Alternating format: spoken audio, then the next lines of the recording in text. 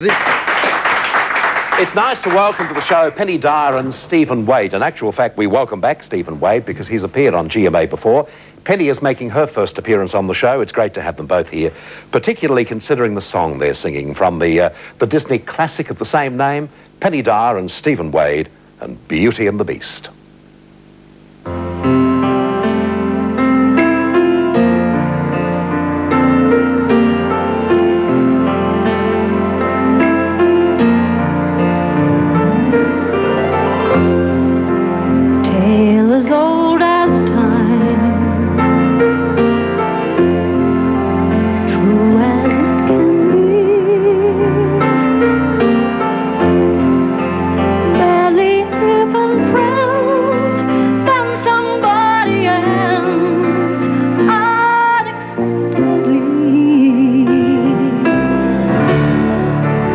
Just a little change